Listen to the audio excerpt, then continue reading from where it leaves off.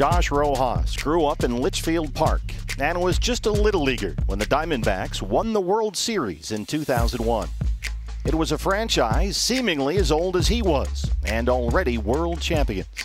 As a boy, Rojas admired speedy infielders like Tony Womack and Orlando Hudson, his favorite players. Years later, after he was drafted by Houston, and then not long afterward traded to the Diamondbacks, Josh suddenly found himself filling the shoes of his boyhood heroes. The first time I realized it when I was in Reno, I was sitting in the dugout before the game and I saw the D-backs patch on the sleeve.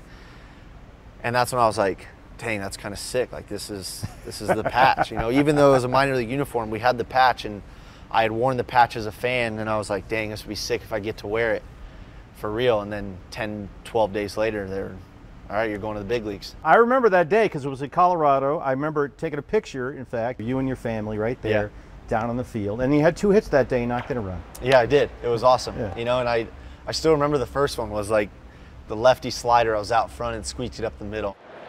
Up the middle and throw. Josh Rojas has got his first major league hit. I always thought in the minor leagues, like, I want my first hit to be cool. Like, I hate seeing the ones that's like, you know, infield chopper and he beats it out and I did I wanted to be cool. So and I'd always joke that like if it's going to be an infield single, I'd rather just be an out so that the first one's cool. But then I got that first little squibble, and I'm like, oh my, I don't care what it is. it's out of the way. I feel good now. You know, I'm not going to be picky. I'll take it. So where's the ball? I think it's at my parents' house. You think? Yeah, I, I, I gave it to them. It sounds like they deserve it. Yeah, 100%. Absolutely. You know, they put in just as much, if not more, work than I did. You know getting to where I'm at. So, yeah, they deserve all the credit in the world.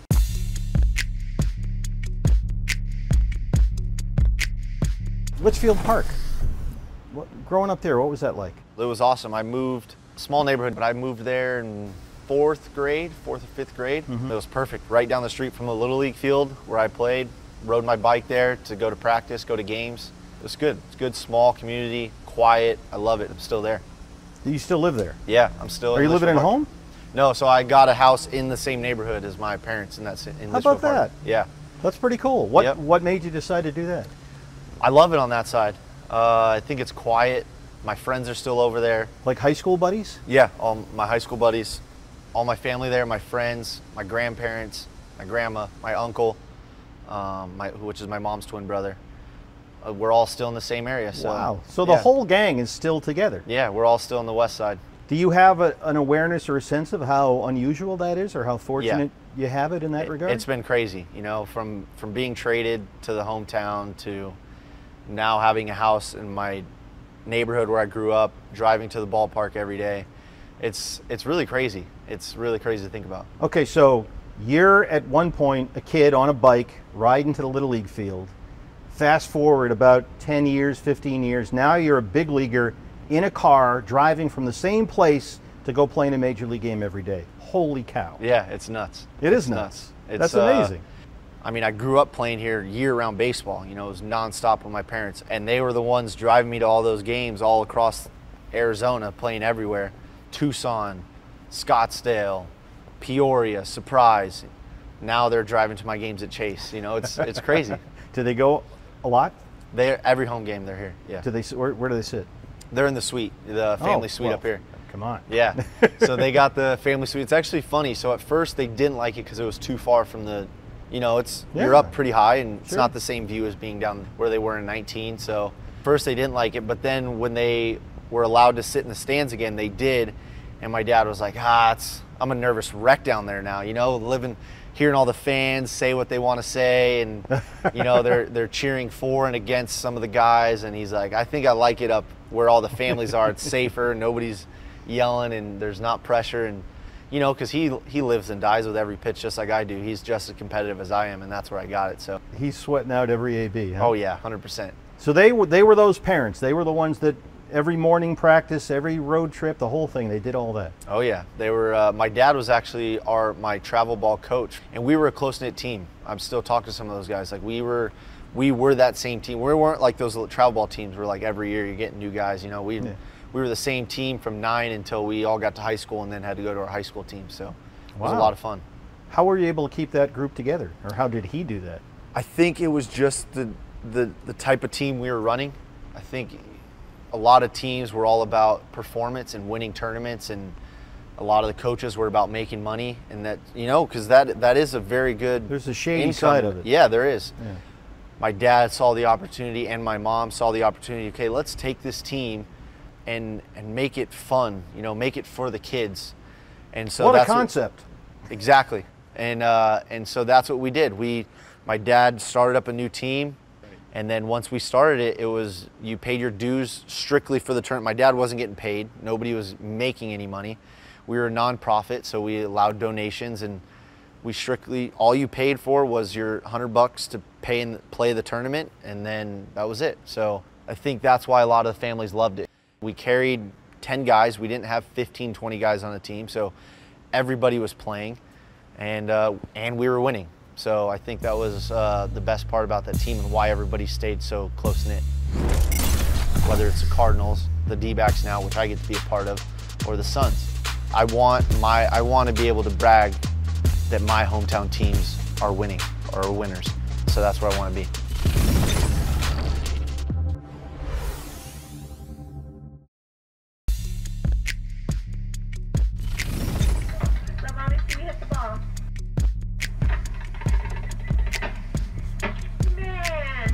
You're a Valley native and really maybe the first generation that grew up with the Diamondbacks as a team here. You're a product of that sort of first wave of what we hope to be generational D-back fans. Yeah. What difference, if any, does that make to you playing for the team now? It's been really cool. You know, coming to the games growing up, watching the growth of the team, the falls of the team, you know, those I I want to be a part of this team coming back and being good again. And that's what I want to do is win. I hate losing more than anybody. And more than losing, I hate when a, my hometown teams are not playing well. Whether it's the Cardinals, the D-backs now, which I get to be a part of, or the Suns. I want my I want to be able to brag that my hometown teams are winning or are winners. So that's where I want to be. It's gone. Josh Rojas. So in 2001, when you were a kid growing up, you were seven, eight-ish? Seven, yeah. Seven. Who was your guy? Tony Womack was. Uh, I was a big fan of Womack. You know, just the scrappy the, guys. The, yeah, the, yeah, and that's. So I was actually. So my dad's five nine, five eight. I think he's five eight. We'll give him five. We'll give him five nine. Yeah. For television. So you know, growing up, and I was always always a smaller kid, and so growing up, I always thought I was gonna be. I didn't know I was gonna be six one. So that was the guys I looked up to, the scrappy base hits, you know, the second basemans mm-hmm. are the guys I looked up to. Even Ichiro was he was one of my first favorite players growing up. Was Ichiro just slap hitter, tons of base hits, steal bases, cannon from the from right field. So with the D-backs, my guy was Tony Womack. He was scrappy. You know, everybody. A lot of people don't talk about the hit that he had in, in the world. Oh yeah, yeah. That was Bob came, does all the time. Believe yeah, me. Yeah, yeah. That that for good reason. That was the one that started it off. Was that that double? you know, after that it was O Dog. I love Orlando Hudson. I got a chance to meet him in spring training and work with him. He's awesome. Did you get a word in? I got a few in. yeah. yeah. so he's uh, he's the guy that I imagined him to be on the way he played. You know, high energy, every day, ready to go. Steve Finley was another guy, mm-hmm. center fielder, nasty in the outfield. Um, yeah, just tons of scra- scrappy guys were my guys. So when you were in high school at Millennium, there was it wasn't just baseball, right? Soccer and football. Yeah, so I played. I mean, I was I was playing everything. I was playing whatever I can get my hands on. If our basketball team wasn't so good, I I would have played basketball too, but they were too good. But yeah, I played. Uh, it was mostly baseball and football. My junior year, I played soccer because I had elbow surgery, mm-hmm. so I couldn't play football. And I I actually tried out as a bet against one of the soccer players who who said that I wouldn't be able to make the team because soccer's too hard. So I, I tried out and I made it and I played the whole year. Had so. you ever played soccer? No. Did you never. understand the rules? I did from playing FIFA. Oh, duh. Yeah. So that, I played, that game's hard. Yeah. So I played FIFA all the time with my friends, and so that's how I knew the rules. And I remember, I still remember the first tryout was like warm ups was like 20 laps around the field. And I was big like, field. I was like, I could quit right now. I don't really care about this sport. You know, this is awful. I hate running. But I was like, you know what? I'm not gonna. It's I'm not gonna give up just because it's running. So I want it to come down to skill if I don't make this team. But I made it, so it was cool. What was the bet? He was, so it actually started. You have so to shave a, his head or anything? No, so we had it. It was just there wasn't anything on the line. It was just pride because we had I had a class. It was uh, it was my junior year, so we had you had weight training, which was one class, and then you had one class that was sport and PE, mm-hmm. and it was it was literally just sport. So every week, we would go over the rules of the game. Uh, you know, most of the games you knew, but there were some like handball was a sport that you'd play, and you had to learn the rules, and then you'd play it for a week. And then at the end of the week, or sometimes two weeks, there was a championship, and the winners got Gatorade or you know, it was bragging rights. Cool. So one week it was arena soccer, and so we won. And one of the kids we beat was a soccer player. And so, of course, I was like saying, This is too easy. It's too easy. You know, that talking smack, which I love to do. And he's like, This ain't real soccer. This isn't real soccer. You know, come try it on the real field and see how it is. And so I remember telling him in the locker room as we're changing after PE, I was like, If you bring me cleats, I'll go to tryouts and I'll make the team. And he did. Two days later, brought me cleats, and he goes, "Let's." And so when he brought me the cleats, I was like, "Dang, I got it now." you talked yourself into yeah, it. it's it's now it's the floor's mine. So yeah, I went to tryouts and made the team. He's got it, Josh Rojas in right. Football, you were a receiver, right? Because I read you yeah. were a pretty well regarded. Yeah, football was was really fun for me. It was. I actually had never played. I didn't get to play football until high school. Right. And my dad always told me, and I, I get to make the decision when I get to high school, but up until then, we're going to keep it safe and you, you can play baseball. Was that okay with you? Yeah, I mean, I was bummed at the time when I didn't get to play Pop Warner, and you know, you got all the kids wearing their Pop Warner jerseys to school, and I always felt like, man, I could do it. But when I got to high school, I was thankful because I realized how physical of a sport it is. Did your dad go to all the games and was oh, he yeah. nervous like he is for baseball? He was. He would always tell me, you know, hey, be careful, but you know, you can't play that game careful. You got to play full speed. The second you try to, you know, halfway do something, is I think those are the times you get hurt. I try to spread this message as much as I can because I think it's a very big stigma, and it could be a negative stigma about going Division One out of high school. And I think that's the goal of every sport, of every player. That's the cool thing to do.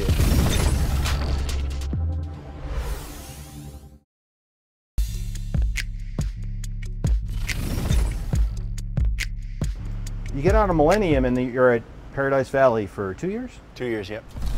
What were your options coming out of high school? That obviously was the best one. What yeah, was that so process like for you? That was actually a really tough process for me, and I think I try to spread this message as much as I can because I think it's a very big stigma, and it could be a negative stigma about going Division One out of high school. And I think that's the goal of every sport, of every player. That's the cool thing to do. You know, right. a lot of high schools, I know our high school did have you know, signing day where everybody gets to announce where they're signing. And you want to be D1 out on that day because that's cool and it's kind of, you know, that that banner that says I'm as good as I think I am. It's a status thing. Yeah, and that's really all it is because I've had so many buddies that out of high school went to a Division One and they sat for two years, and then they're trying to play their junior year, and it's just too little, too late. You know, you missed out on two years of development and experience because you sat behind somebody for two years sometimes three. Sometimes you never get your shot. Yeah. that was my goal out of high school was like oh, i want to go d1 because you know i think i'm that good. And if i want to prove to everybody that i'm that good that's where i got to go. And so i had some talks with asu had some talks with u of a. So it was actually the recruiting coordinator at u of a that was kind of the most straight up with me like saying like we have this guy for a couple years our middle infield stacked. Maybe you should look into the juco option. You know, that's a really good option for guys. And so I did, and I started meeting with junior colleges, and suddenly I went from little to no money to, yeah, we'll we'll give you everything you need. And I was like, okay, this is my level right here. You know, right. I'm getting I'm getting top recruiting options in the junior college level, whereas D- Division One, where I was trying to fit in, I was getting nothing. So I started shopping around and once I started shopping around and like looking, you know, going to practices and watching how guys develop, I started to see things like, okay, I've already done that. Now it's like looking at, okay, how can this team develop me so that I can get to where I want to go? And that's how I landed on Paradise Valley. I, I remember going to different practices and thinking like, just standard ground balls, standard hitting, and you know everything I've seen before, everything I've already been working on. And I went to PV's practice, and I remember just seeing the. It, it I mean, it, it looked monotonous the work they were doing, but I was like, that's something different. I haven't done that yet. First week, no gloves, Wow. no bats. Second week, gloves, still no bats.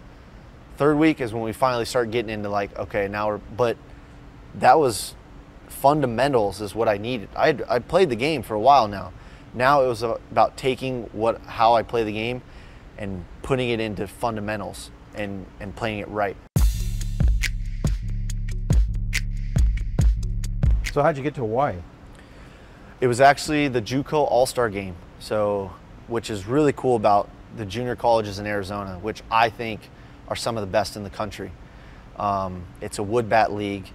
It's a grind of a schedule, which a lot of people don't talk about. And they also have that. So for all the freshmen that you complete a year, so it's going into your sophomore year, there's an all-star game. And it's at the same time as the Fall Classic, which is a big thing here in Arizona. So the Fall Yeah. Classic is a baseball tournament where teams from all over the country come to play. There's college scouts, pro scouts. Like you play one game, there might be 50, 60 scouts behind the field watching these these games. And our All-Star game is that same weekend. So we play in front of all those same scouts and that's where they had a coach from Hawaii was there and called me up a day later and was like, "Hey, we saw you play in the All-Star game. Had a couple hits. Went on a visit. Fell in love. Was like, this is Duh, it's Hawaii. this is unbelievable atmosphere. yeah, and I was all in from then, then on out. So there's an interesting pattern here in that throughout the course of your career, you have picked places that wanted you and that fit you. And that's happened here with you. The Diamondbacks traded for you. Did they tell you why? Did anybody have that conversation that they had with you at, at PV and with Hawaii? Hey, Josh, here's why we like you. Here's why we want you here. Here's why we brought you here. Yeah, I've had that discussion uh, with Torey and Hazen. It was when I don't. It wasn't right when I got here. I think the biggest talk we had that was most beneficial for me and my my mental state was the the talk we had this spring training before spring training started. What was different about that one? It was that they believed in what I could do if I would just do what I was doing. I thought I needed more power, you know. Oh, I got to hit more homers, you know. I, guys in the big leagues hit homers. You know, I, I got to get more doubles. And, and I was trying to play outside of myself. Mm-hmm. And we, when we had the talk in spring training, it was all about we want you to be the guy we traded for. You know, the guy that you were being in the minor leagues, that's the guy we wanted. We didn't want to trade for you and then, oh, let's make him into something he's not. And and when I heard that, I kind of, and I was kind of feeling it already too. You know, I was kind of feeling like I'm getting outside of myself here. And I went into spring training and I, I broke it down to being as simple as possible. Get base hits and get on base. Cool. The spring was ridiculous. Yeah. I wrote it down. 347. I mean, every time we looked up, Rojas got two more hits. Rojas got three more hits. It's in the gap. It's down the line. There goes Rojas. Yeah. I mean, it was crazy. and it was and there was not much thought going into it it was do my routine every day hit the weight room stay strong and then go out and execute a plan whether whatever that plan was that day you know and in spring training there's not reports before the game so it's Right. it's strictly you step in the box and you're coming up with a plan on a whim That's as simplified as it gets then. simplified as it gets and So you thrive that way, though. thrived. Yeah, I loved it, and and that's why there's a constant adjustment in season. And we saw that. I mean, if you look at the beginning of the year, Two for 31. I did. Yeah, That's it was. what I do every day. I it was. I'll never forget. It was that first series, San Diego. I was like, okay, now now we go, and I went in there, The fence looked like it was about 200 feet. I was like, I'm gonna leave the yard with every. I felt good, you know, especially after the spring I had. BP felt great that day. You know, I was like, I felt like I could leave the yard with every pitch, and I was facing Yu Darvish, who you're not gonna leave the yard on every pitch. So, and I think that first game going over and seeing zeros on the board, then going to the next day and seeing more zeros on the board, you know, you just start to, oh shoot, now I got to get, I got to get two or three hits today to make up for it. You go the next day, oh, I got to get two or three hits, and it just snowballs, and you're oh. like, how am I going to get out of this? Let me stop you there because I, have had a theory with you that I, now, finally, thanks to COVID, I have the chance to ask you. I go back to Washington, April 18th. You remember this game? You know where I'm going here? Yeah, yeah, I do. Sunday game, finale of a four-game set. You're two for 31, and the thought is, well, Josh is struggling. Maybe that spring was just spring training facing a bunch of backfield guys. Now he's in the big leagues. The water's a little deeper, and he's not swimming like he was before. Leadoff homer on that Sunday game, and ever since that home run, everything's different. You know what's funny about that day is that that day was actually different than all the rest of the days altogether. How? So I wasn't supposed to play that game. I had the day off that day. That game. So I'm in the weight room, and you know, getting it's a day game, so everybody, you know, it's a Sunday. Coffee, yeah, going on the road. I think Sunday we went to game. Cincinnati next or something. Yeah, I'm I'm two for whatever, 31. So I get the off day. I'm like, this is great. I need this off day. you know, I'm in the weight room. That the plan for the day was just to you know get a light lift in, get loose. Pipe comes in. He goes, hey, uh, you're in the lineup today. I'm like, okay. So he's like, get ready. So I'm like, okay. So the whole routine changed, and it was kind of I was kind of behind on everything, and so there was no all the routines I had done, you know, all the scouting reports, you know, all the all the stuff that I usually do before a game, none of it was done. It was all about just getting the body ready. It's spring training all over again. Spring training all over again. And so go, the approach for that day, going into that first at bat, was let's just swing at strikes, put the ball in play. And that first at bat, it was a battle. Like I was fouling off pitches, I was missing some heaters that I wanted to hit and he left over the middle plate, and I got it. And I, I never forget that swing was, it was just a swing to get a base hit, and I hit it perfect for a homer. Yeah, you did. And that's when I realized like, I can hit homers with a normal swing. I don't have to try to hit a homer to hit a homer. If you look back at that at bat, it's been. I think you're hit. If you take out the two for 31, you're like at 290 with an 850 OPS. If you take out that first section, when you were trying to hit home runs, you're talking about all-star numbers. Yeah, that would be sick if we could do that, right? Go back take out those. Out. Yeah, that's that, those are those waves I'm talking about. You know, take the ups yep. and the downs. The ups and the downs, and it's it's how can you mask those? How can you not let the guy on the other side know? You know, there's because there's times where I'm on defense and I see a guy hitting, and I want to go up to the pitcher and tell him like, hey man, I can see it because as, a hitter we see it more than he's scrambling. Just throw him throw it over the plate, he's scrambling. That's interesting. You know, the, you can see it in guys, and and the main goal is to not let guys see that because you might get exposed. You know, I'll see it when I'm hitting. Hey, this guy's scrambling, can't throw strikes. Ambush him.